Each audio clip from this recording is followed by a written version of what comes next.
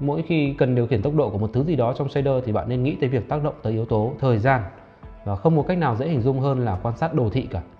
Trong trường hợp này, ta dùng sóng sin nên tôi đã chuẩn bị một vài biến thể của sóng sin trên trang Desmos. Bạn có thể theo dõi tôi thao tác trên màn hình hoặc dùng link tôi để ở trong phần mô tả để tự tay điều chỉnh các tham số xem các đồ thị nó thay đổi ra sao.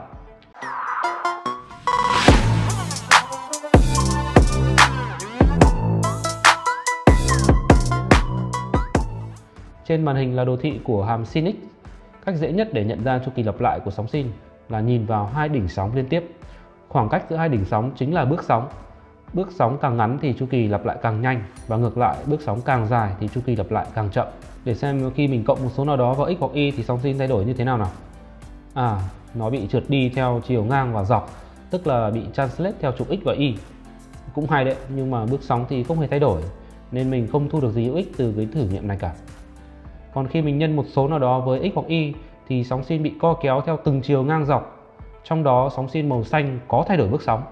Đây rồi, đây chính là cách mà mình có thể thay đổi chu kỳ lặp lại của sóng sin. Hàm số của sóng này là sin của x nhân với a.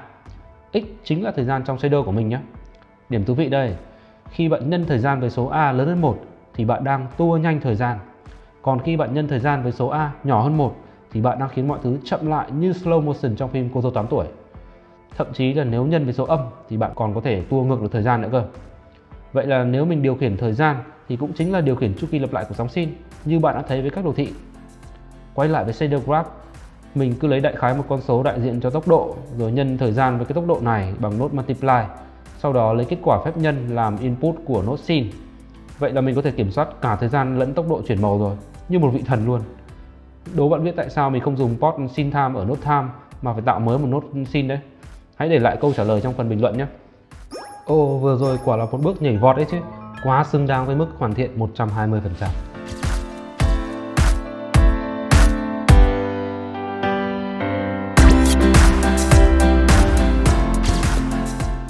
Nếu bạn nghĩ là có thể đem shader này đi khoe với các anh chị em bạn gì khắp các thôn làng để dùng cho mọi vật thể mà mình muốn phát sáng thì chưa được đâu nha, gáy hơi sớm.